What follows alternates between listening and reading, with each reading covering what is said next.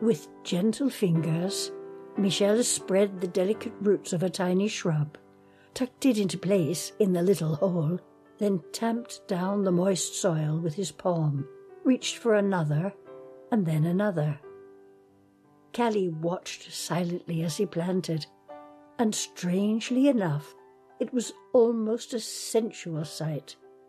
His hands were broad, strong, and deeply tanned from working outdoors.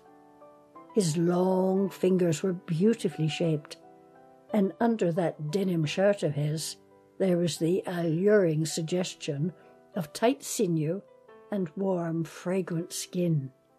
Bear like? No, not exactly.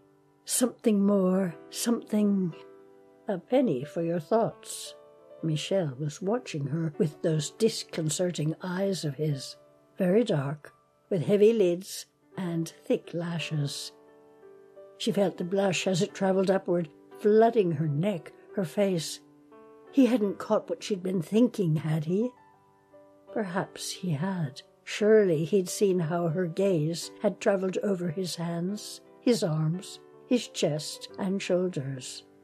How incredibly humiliating what vaguely plausible answer could she give? Oh, just remembering something. Ah, eyebrows raised in overt amusement. He smirked rather cockily, then went back to working on the next hole, the next shrub.